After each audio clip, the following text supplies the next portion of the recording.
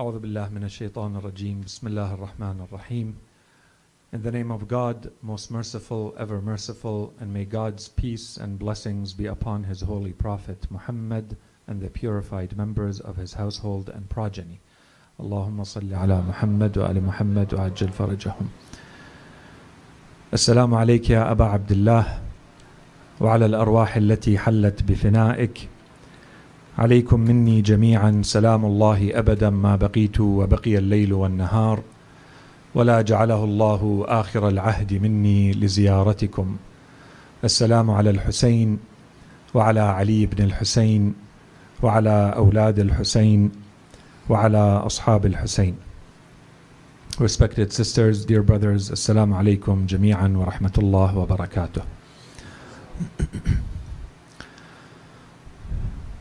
There should be no doubt that Islam has a very rich tradition, very, tri- very rich heritage in considering a number of locations, a number of sites as carrying special significance. In fact, there should be no doubt that Islam considers certain sites, certain locations to carry not only significance and importance, but holiness and sanctity. The question is therefore to try to understand why is it that certain locations, certain sites are given this type of importance in our religion? Where does this holiness come from? What is it attributable to? And given this holiness, given this sanctity, the importance given by Islam to these types of sites, what is therefore our duty, our responsibility? What are the Islamic teachings surrounding these types of holy sites?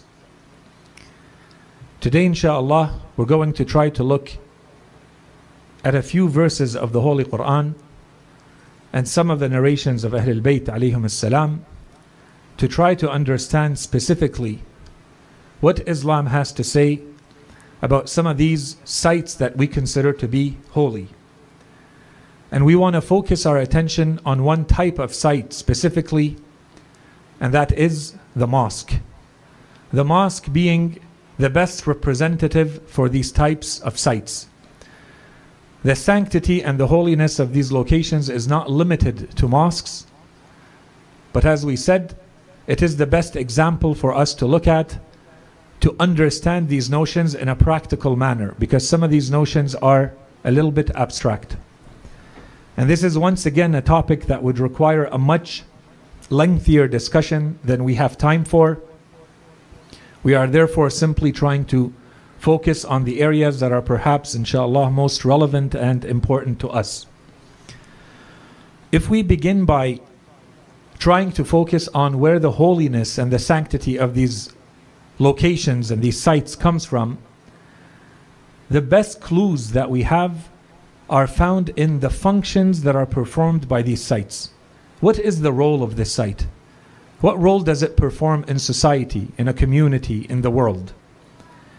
The better we understand the functions that are performed, the better we have an insight into understanding why our religion considers these sites to be holy. This is where the sanctity comes from. And this, of course, is at the logical or rational level. Otherwise, there's always a ritualistic level or a purely religious level where Allah subhanahu wa ta'ala simply tells you that something is holy and you consider it to be holy. Our discussion is trying to understand a little bit of the philosophy behind it. Allah subhanahu wa ta'ala does not ask us to do things that are entirely random. There's always a greater wisdom behind it. So let's start by looking at some verses of the Holy Quran to provide a quick overview at first. The first verse of the Holy Quran comes to us from Surah Al Baqarah, chapter 2, verse 125. Allah subhanahu wa ta'ala says, وإذ جعلنا البيت مثابة للناس وأمنا واتخذوا من مقام إبراهيم مصلى وعهدنا إلى إبراهيم وإسماعيل أن طهر بيتي للطائفين والعاكفين والركع السجود Allah subhanahu wa ta'ala says in this verse, and remember when we made the house a place of constant return and assembly for humankind and a sanctuary. Take then, take then the station of Ibrahim as your place of prayer. And we commanded Ibrahim and Ismail, saying, Purify my house for those who circle it, who circumambulate it, those who retreat to it, and those who bow down and prostrate. What does this verse tell us? We're talking about mosques in general. This verse is talking about a very specific mosque, the greatest of all mosques.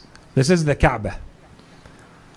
The verse is talking about a specific mosque, but at the same time, if we understand what it says about this mosque, then we can see how these teachings and these functions performed by this holiest of mosques can apply in common and in general to other mosques. So what does this verse say? The verse starts by saying, وَإِذْ جَعَلْنَا الْبَيْتَ We made the house. Why did Allah subhanahu wa ta'ala choose this term to talk about a mosque? Why did he call it a bayt? We're translating it in English as a house. House is not a really good translation for a bayt. In Arabic, the root of this term, bayt, means this is the location where you spend your night. This is the location where you go to rest. If you want to find peace and calm and serenity, if you want to heal psychologically and spiritually, you retreat back to a location where you spend the night.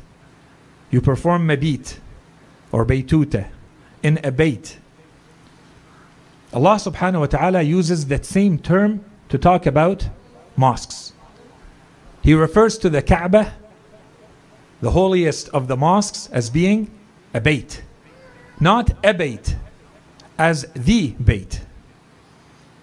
As they say, par excellence. The best, most perfect version of a bayt is Al-Kaaba which already gives us the first function that is supposed to be performed by mosques. You attend the mosque so that spiritually you find peace and you find rest and you find serenity and calm. You calm your soul by attending the mosque. This is the first function. That's why Allah subhanahu wa ta'ala chooses this term. وَإِذْ جَعَلْنَا الْبَيْتَ مَثَابَةً In Arabic, this term means that you constantly return back to something. And the construction of the verse, the way the wording is put together, means that this is where people are going to constantly return in groups. This is where people assemble. You return back in groups. When we made the house, this place where you come to rest, a place for you to constantly go back to in groups. And the next word informs us of this. Linnas. Allah subhanahu wa ta'ala says that there's a collective dimension here. You don't perform this act as an individual. You, you perform this act as a group. You are part of a group of people bigger than yourself. This is how you return to the mosque. So when we made the mosque, or we made the house, a place of constant return for humankind. وَأَمْنًا And a sanctuary where you go for safety and protection. And this is something that was part of the teachings and the culture and the beliefs even in pre-Islamic Arabia. Anyone who wanted to find sanctuary, they may perform a crime. If they want protection, they don't want to be harmed by anyone. They go in a safe sanctuary, which is the Kaaba. And no one can harm them. They wait for them to leave the Kaaba so that they may capture them and exercise whatever justice they think is fit. And Islam preserved this. And this is part of Islamic teachings. Islam recognized these teachings and this belief as being valid. So, this is another function performed by these places. Then Allah subhanahu wa ta'ala says, وَاتَّخِذُوا مِن مَقَامِ إِبْرَاهِيمَ مُصَلَّى I will skip the parts that are specific to the Kaaba. Allah subhanahu wa ta'ala says that these places are places for prayer. Musalla means this is a place where you stand to perform your ritual prayers. And this should be the most obvious part of mosques, so I won't comment on it anymore. Then Allah subhanahu wa ta'ala says, we asked Ibrahim and Ismail, Antahira baytiya, purify this house of mine. This purity of the place is at two levels. It can mean that you purify it in a material way. If there's any najasa, you remove the najasa. Or it could be something a lot more spiritual. There should be no false beliefs here. There should be no batil that enters this type of place. There should be no indecency, no sinfulness. Nothing wrong should enter this type of place. Allah subhanahu wa ta'ala says, I took an oath from Ibrahim and Ismail to clean up this place, to make it pure. For whom? للطائفين, this is specific to the Kaaba, those who perform the tawaf, who circumambulate, who, per, who circle the Kaaba. والعاكفين. What is the i'tikaf in Arabic? It's when you retreat, you isolate yourself so that you can meditate without distractions. You can focus on your acts of worship, your relationship with Allah subhanahu wa ta'ala. This is one of the recommended acts, for instance, in the month of Ramadan. There's i'tikaf that is mustahab. The Holy Prophet would leave his bed and would spend the last 10 days and 10 nights of the month of Ramadan in the mosque in worship. This is i'tikaf. Allah subhanahu wa ta'ala is talking about the people who are coming to the mosque in general as being in this state. We're not performing this state for days and weeks. We're performing this state for a couple of hours. But it means that we have to be able to focus without distractions on the purpose of these types of gatherings. To meditate, to reflect, to think. What else? وَالرُّكَّعِ السُّجُودِ And those who bow down and perform prostration. Ruku' and sujud. And they re- perform this repeatedly. A lot of it. Already with this verse, we can see that there's perhaps a lot more going on in a mosque than we may think at first glance. The functions that the mosque is performing is a lot more than simply attending to assemble together or attend to perform an act of worship. Let's look at second verse. In this second verse, Allah subhanahu wa ta'ala in Surah Al Imran, chapter 3, verse 96, Allah subhanahu wa ta'ala says, إن أول بيت وضع للناس للذي ببكة مباركا وهدى للعالمين. The first house, or surely the first house established for humankind was the one at Bekkah. And we're going to come to this term. Full of blessing and a guidance for the worlds or for humankind. I won't talk about the beginning of the verse. It talks again about the house. We talked about the house. And we know which house it's referring to. Once again, it's talking about the Kaaba. Once again, it's talking about the holiest of sanctuaries in Islam. Then Allah subhanahu wa ta'ala says, this is established. وَإِذْ جَعَلْنَا وَإِنَّ أَوَّلَ بَيْتٍ وُضِعَ لِلنَّاسِ It's established for humankind. There's a lot of meaning behind this word, وُضِعَ لِلنَّاسِ First, it means that Allah subhanahu wa ta'ala is establishing it for humankind. This is not something for Allah subhanahu wa ta'ala, even though we call it a house of God. The purpose is for humankind, not for Allah subhanahu wa ta'ala. It must therefore perform functions and duties and be at the service of humankind. This is very important for mosques. Mosques are here to serve. Houses of God are here to serve, and we must ensure that they perform this function. Then clearly the verse says they are places of blessing, as it says, Mubarakan wahudan, and places of guidance. This is somewhere you go to receive guidance, to be educated, to access the truth. This is the meaning of guidance. Either that it means it points the truth to you or it means it brings you to the truth. But this is guidance.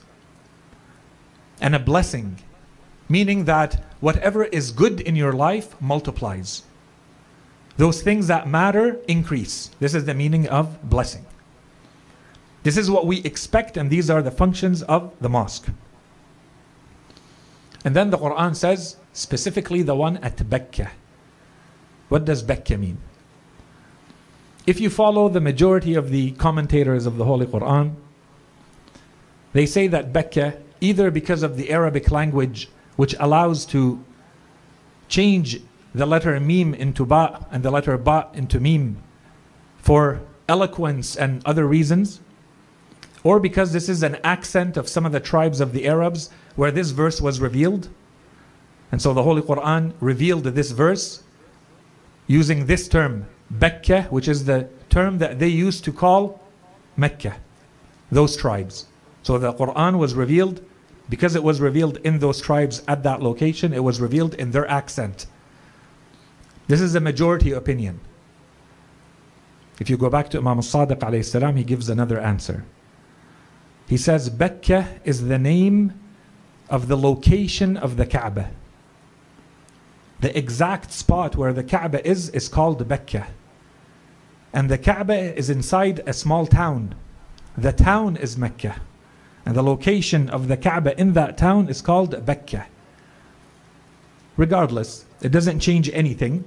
This is simply to say why the Holy Quran is using this term specifically. Then we have to focus on the fact that the Holy Quran is talking not about any mosque, it's talking about the Kaaba. The Kaaba being the holiest, the greatest of all mosques, all holy sites in Islam. What does it say about it? It says that this is the first house established for humankind.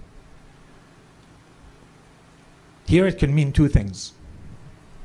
The first meaning is that this is the first house of worship established for humankind. And if we go back to the narrations and we want to see, is it truly the first house? We find that the narrations telling us that Allah subhanahu wa ta'ala ordered Prophet Adam alayhi salam to build the Kaaba. And he built the Kaaba. And the Kaaba remained in place until the time of Prophet Nuh alayhi salam. And then it got destroyed in the flood. And it remained in that state, being destroyed until the time of Prophet Ibrahim alayhi salam. And then Allah subhanahu wa ta'ala ordered Ibrahim alayhi salam in his old age when he had his son Ismail alayhi salam old enough to rebuild the Kaaba based on the foundation that was there. That's why the Quran is very precise. It says, وَإِذْ يَرْفَعُ إِبْرَاهِيمُ الْقَوَاعِدِ There's already a qa'idah. There's already a base and a foundation. Prophet Ibrahim salam came back to rebuild it in the exact same spot where Prophet Adam salam had built it. This is the first house of worship. But there could perhaps be more. If we put aside religion, we always try to make these linkages. We need to think about it in different ways. Perhaps that expands our horizons. Today, on the religious side, we have these narrations. They talk about the cycle of prophethood, how this construction had history, comes down to us all the way from Prophet Adam alayhi salam. The Holy Quran spends a lot of time explaining to us how it was built by Prophet Ibrahim salam and that entire heritage, which includes Al-Hajar al-Aswad, the black stone, and it was supposed to represent to us that perhaps there is nothing left from the original Kaaba today in that building except that stone. That stone having been there from the original construction of the Kaaba. And its significance is that it represents the millennia of human beings who have been devoted to the worship of Allah subhanahu wa ta'ala. Who have come from far and wide to continue to worship Allah subhanahu wa ta'ala.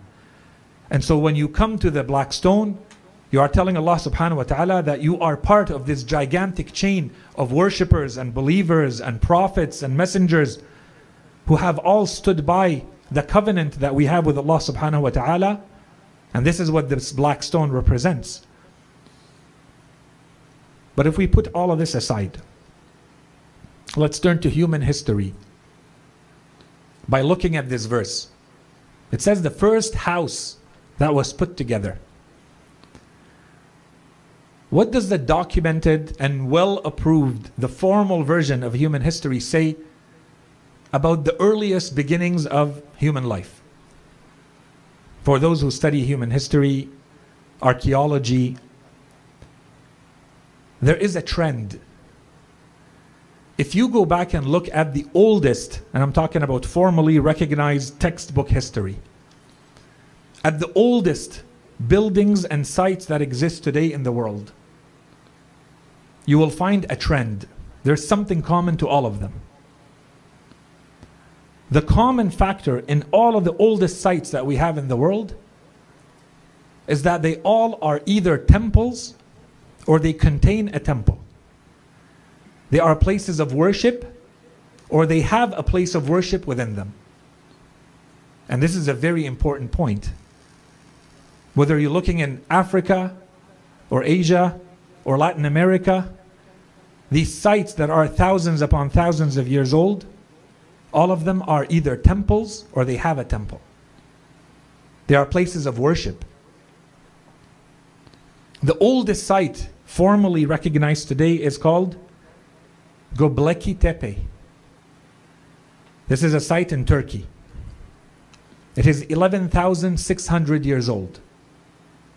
This is the oldest site formally recognized in human history as being a human building, built entirely by human beings with purpose and design and architecture and engineering.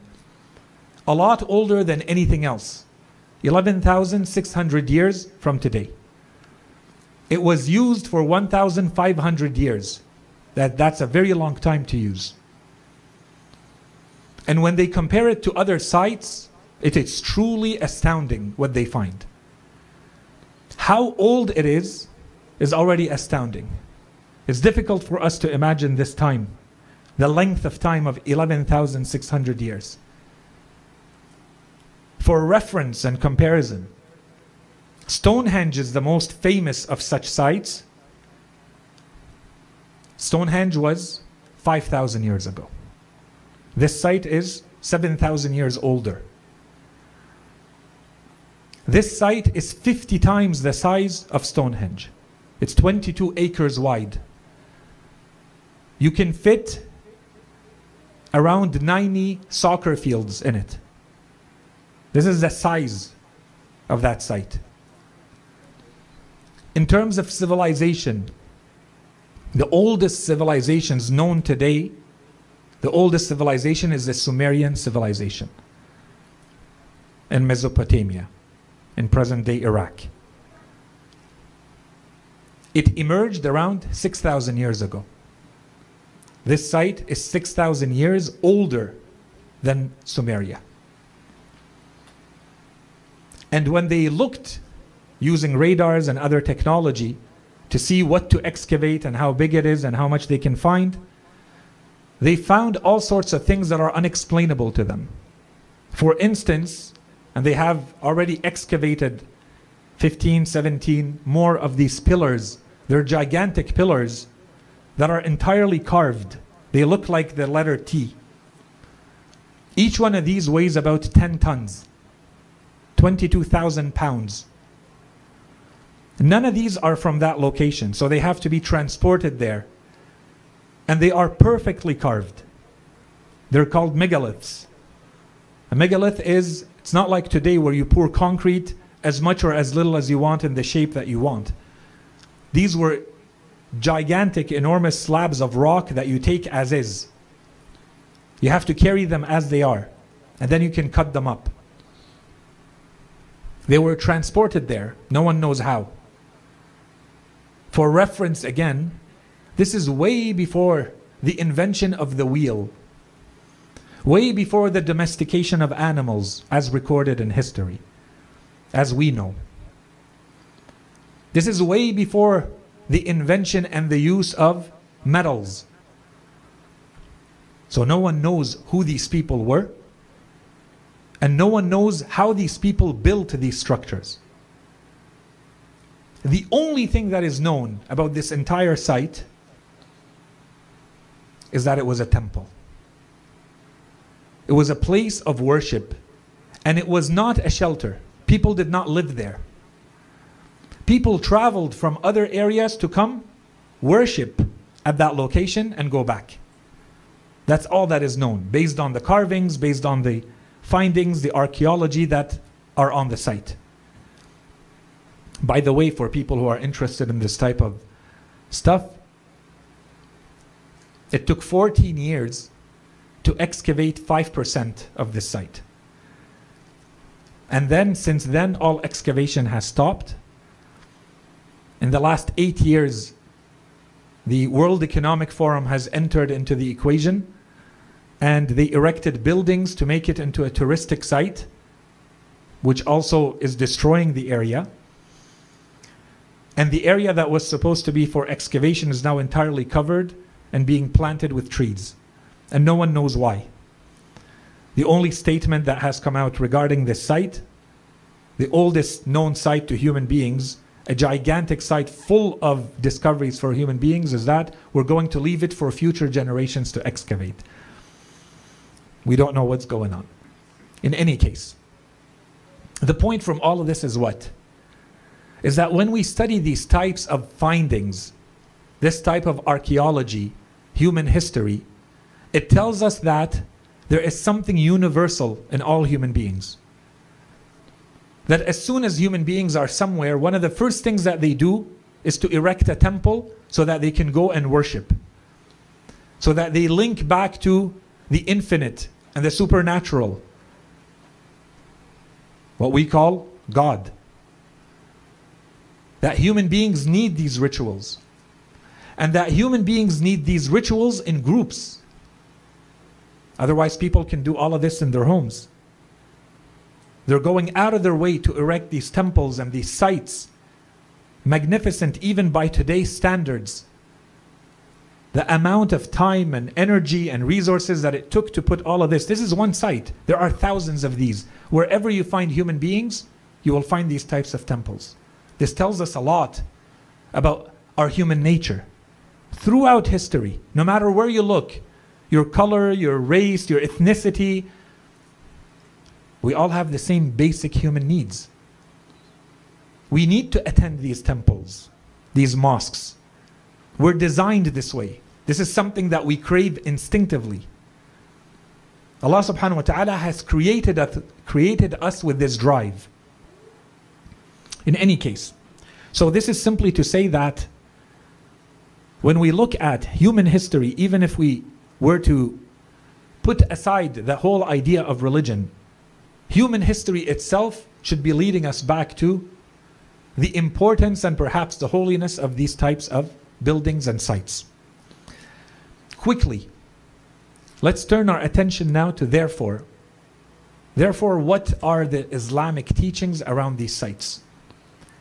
What are our duties and responsibilities, and what are the Islamic recommendations about these types of sites? like mosques. First teaching. I'm not going to go through the ahadith so that I can cover a lot more of them here. Otherwise, the ahadith would take us a lot longer. So, this is a summary of what we find in the ahadith. Ahlul Bayt alayhim salam say that we should all have an area in our own homes that is a mosque. They refer to it as a mosque, an area of worship dedicate an area of worship to worship Allah subhanahu wa ta'ala inside your homes. And they tell us in other hadith, they tell us Imam Ali alayhi salam had his own room, even though the house of Imam Ali alayhi salam was stuck to the mosque. And that the Holy Prophet closed all the other doors that were stuck to the mosque. He sealed them, but he kept the door of Imam Ali and Fatimah al-Zahra open. If Imam Ali steps his foot outside the door, he is in the mosque. And yet Imam Ali still had a room in his house dedicated for his worship. Ahlul Bayt say there is nothing else in that room. It was an empty room for his prayer and he had a copy of the Quran in it. That's it. This is extremely important. This is good for our own spirituality, that you can retreat without distractions, and it shows your dedication to something. If you care about something, you're going to make space and time for it. Those who want to work with their hands, they have workshops in their homes. Those who care about working out will have a gym in their homes. If you care about worship and religion and your relationship with Allah subhanahu wa ta'ala, you should have a dedicated spot. It doesn't need to be big. It could be the size of your prayer mat. But there is a spot for you. And that spot will be the constant reminder to go back and worship. And this is extremely important for family life. That children grow up in a world where they know that there is a dedicated spot and that religion is present in their lives. And this is also where the upbringing of the etiquette of the mosque starts. This is the mosque part of our house. This part has to be maintained. It has to be clean. It has to be pure. It has to remain beautiful. This is where we go to worship. So that when the child attends the mosque, they already know all this etiquette. This is simply a bigger space, slightly different. But this is a mosque, no different than the one we have at home ensuring that Ahlul Bayt alayhim salam tell us we have to ensure that the mosques are used for their main purpose. That there is nothing happening in the mosques that hinders the purposes which we mentioned, the functions performed in mosques. And that includes excessive noise, any act of indecency, the cleanliness of the place, and the cleanliness of ourselves. Ahlul Bayt alayhim salam talk about all of this. When you're attending, it shows what kind of importance you're giving to this place by the way you dress. Where are you attending? Who are you going to meet? We believe we're going in the presence of Allah subhanahu wa ta'ala. It's the house of God where God is remembered. We can't be sloppy. We can't be dirty. We have to look clean. And we have to maintain the cleanliness of the place which is unfortunately not always the case. Not in every mosque and not in every community. People don't always pick up after themselves. They leave their napkins, they leave their food, they leave their paper plates, and we leave our water bottles. It's an endemic issue, especially in Muharram. We had a whole lecture about water and the waste of water that happens. People are buying these. We have to make sure that we're not wasting it. If I pick up a bottle of water, I keep it and I use it. In any case, the cleanliness of the place. We have to ensure that it remains clean and beautiful. Ahlul Bayt alayhim salam, they say we should put incense, bukhur, to perfume the place once a week. A place of worship should be always fragrant smelling beautifully, looking beautifully. And there are people who can serve and perform these functions, whether in your home or in these places of worship.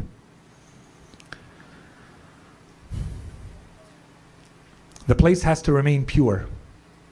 This is a fiqhi obligation. This is not something that is recommended. If you know that there is a najasa or a source of najasa or a potential najasa, then it becomes obligatory to remove it in a place of worship. The hadith say that we have to avoid discussing or performing business. Keep buying and selling and business outside of the place of worship, Ahlul Bayt alayhim say. There's plenty of room for that. Don't buy and don't sell. Don't bring merchandise and don't discuss business in the place of worship. Do not allow batil to enter the place, whatever batil means. Whatever wrong falsehood means, do not let it to enter the place of worship. And there's a whole discussion, inshallah, we covered it enough. There's a whole discussion that we've had in the past about whether children should attend or not. Children should attend because this is the only way for them to learn about mosques. And this is the only way for them to learn about the etiquette of the mosque. And this is the only way for them to learn that this is a place where they are welcome that they feel like they are at home. They want to grow up in this type of place. No one is treating them harshly, disrespectfully. in a way that they don't want to go back. We want them to feel comfortable and happy coming to these places. And if they are too disruptive, it's up to us to plan it accordingly. So this does not become a hindrance for them or for the others. I won't say anything more about that, that requires its own discussion. The importance of attending in person, especially in today's world, in this digital age, where everything's available on your smartphone and on your screen and on your TV. Attend in person. You cannot replace the blessings and the importance of attending in person. There's a lot of thawab that is mentioned in numerous ahadith about your travel to the place of worship. There's a lot of reward given to sitting in the place of worship. There's a, lo- a lot of reward given to waiting for the prayer. So you attend before the time of prayer as you wait for the prayer. You're not doing anything else. The riwayat say you receive a lot of rewards for this. This is about the philosophy of the place. Perform as many of your acts of worship in the place of worship, especially in the company of others. But even though if it's alone, good enough.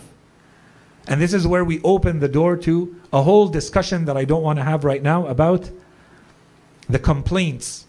In the riwayat, there are three that will complain to Allah subhanahu wa ta'ala on the day of resurrection. The mosque is one of them. An empty mosque will complain to Allah subhanahu wa ta'ala that it was left empty.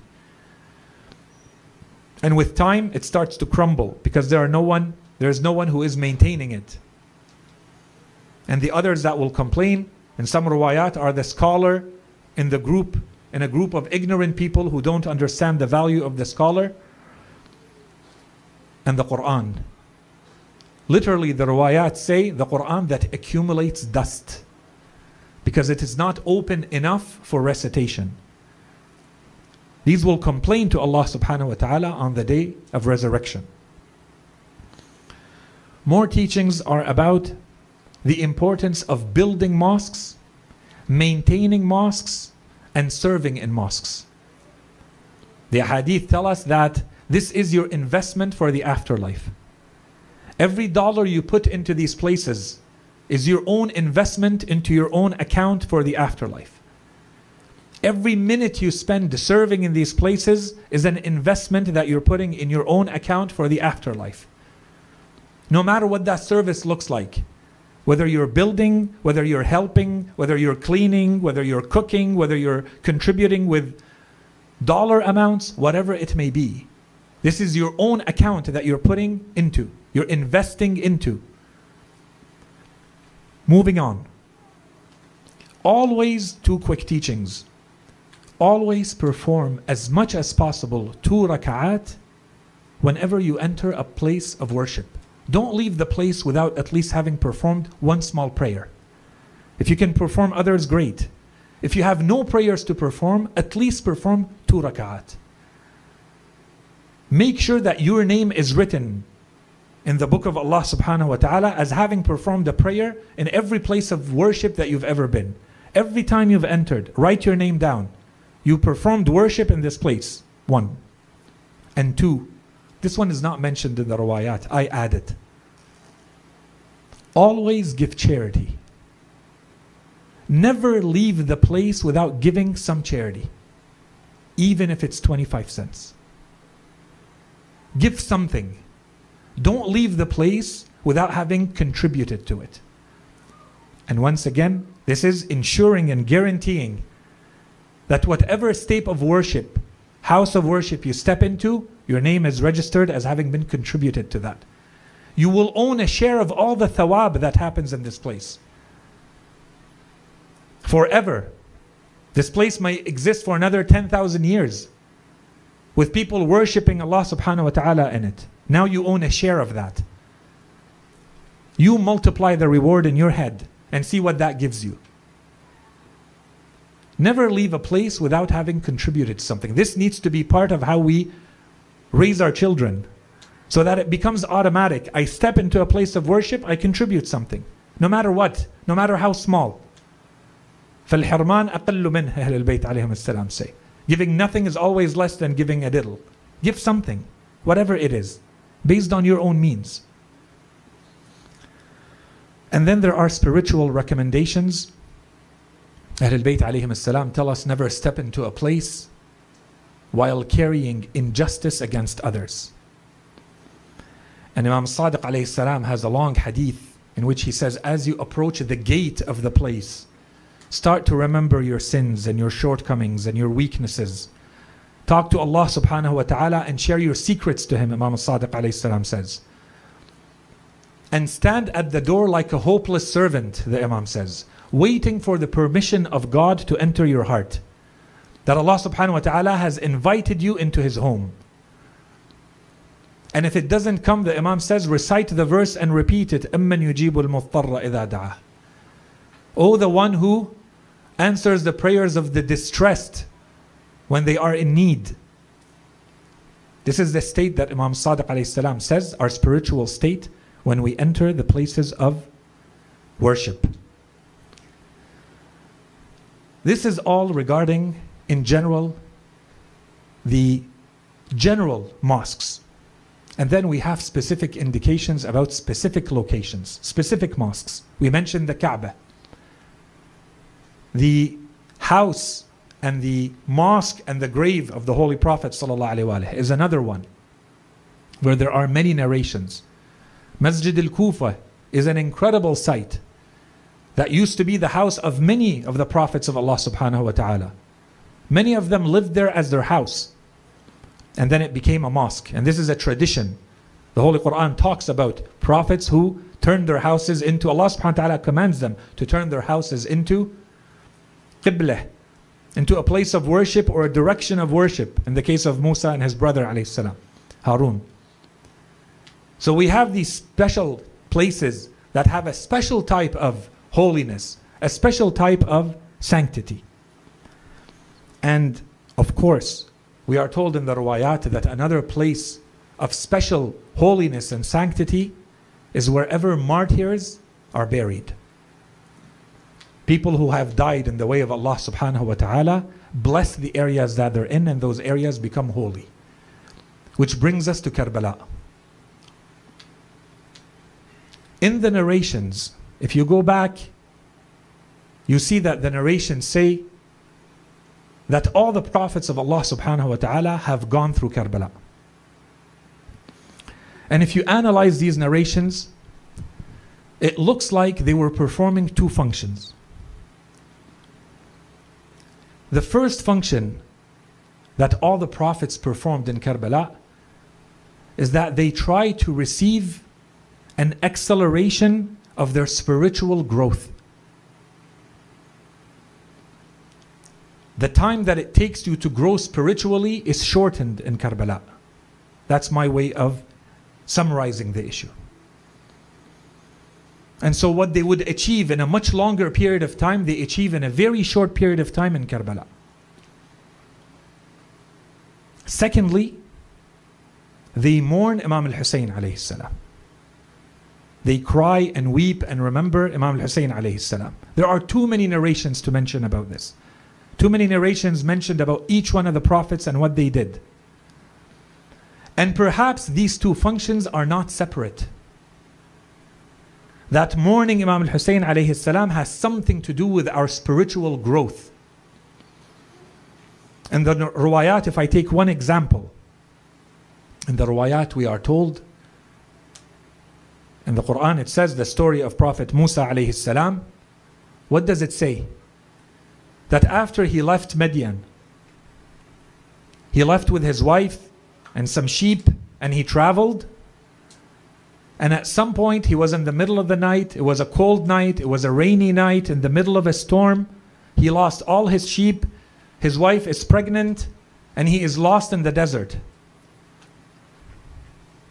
And then he sees light and he thinks that it's fire. And so he asks his wife to wait so that he may go see. Perhaps it's fire. He may take a piece of it and bring back to warm themselves. And he doesn't take her with him out of chastity, in case there are men there. He doesn't want them to see her. A message for us brothers and for the sisters. Prophet Musa alayhi walks to the fire alone and he finds out that it's not a fire, that it's a tree from which there is light emanating. And then, then he is called. And there are multiple verses of the Quran talking about this. They say that this is a blessed spot. Blessed whoever is in the spot, and blessed whoever is around it. بورك من في النار ومن حولها. This is a blessed spot. Another verse is even stronger. اخلع عليك إنك بالواد المقدس طوى. Remove your sandals. You are in a sacred location, in a sacred valley, either called Tuwa or described as Tuwa. Whatever that means, we leave for another day. You go back to the riwayat of Ahl al-Bayt alayhim salam and all the riwayat say that this was Karbala. Prophet Musa alayhi salam was in Karbala when this happened. All the riwayat. But usually we don't go back to the riwayat of Ahl al-Bayt, so we don't know this. What happened to Musa in Karbala? He became a prophet and a messenger, and he was sent with a mission, and he received his first miracles, and he received the guidance and the blessing of Allah subhanahu wa ta'ala. This is the first function. And we said, and we know, and we have the riwayat that talk about his mourning of Imam al-Hussein alayhi salam in Karbala as well. What is the link with Imam al-Hussein alayhi salam? Perhaps, and we don't know, and this is heart wrenching to say, but perhaps it is Imam Hussein alayhi salam who transformed that area of the world. In our riwayat, in the Maqtal, we are told that Imam al-Hussein alayhi salam was beheaded from the back, from behind his neck. The state in which he left the world was with his forehead and his face on the ground in prostration to Allah subhanahu wa ta'ala. In remembrance of Allah subhanahu wa ta'ala in that state. We know the exact words the Imam was saying and uttering. They are mentioned in the Maqatil. In his last state and in his last moments as he left this world, Imam Hussein alayhi salam made the spot in which his body fell, the spot in which his blood flowed, he transformed it into a masjid, a place where his forehead rests in worship and remembrance of Allah subhanahu wa ta'ala. Transforming that land into the holiest and the most blessed of areas. And this was shared with the prophets. And this is where they were coming. And this is part of the blessing of Imam al-Hussein alayhi salam in that land. The effect of Imam al-Hussein alayhi salam on that land. We ask Allah subhanahu wa ta'ala that if these are the types of effects that the prophets can gain and the benefits that they get from associating themselves with Imam al-Hussein alayhi salam. This is the transformative power of Imam al-Hussein alayhi salam. Then we ask Allah subhanahu wa ta'ala to be of those who benefit a little bit at least from associating with Imam al-Hussein alayhi salam in this way and remembering Imam al-Hussein alayhi salam in this way.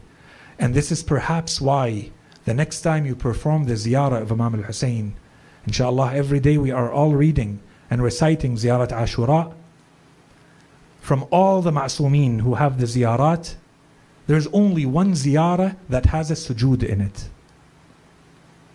The next time you perform the sujood in ziyarat Ashura, remember Imam al-Hussein alayhi salam and the state of holiness and sanctity and sacredness in which he left the world. السلام عليك يا أبا عبد الله السلام على الحسين وعلى علي بن الحسين وعلى أولاد الحسين وعلى أصحاب الحسين وصلى الله على سيدنا محمد وعلى آله الطيبين الطاهرين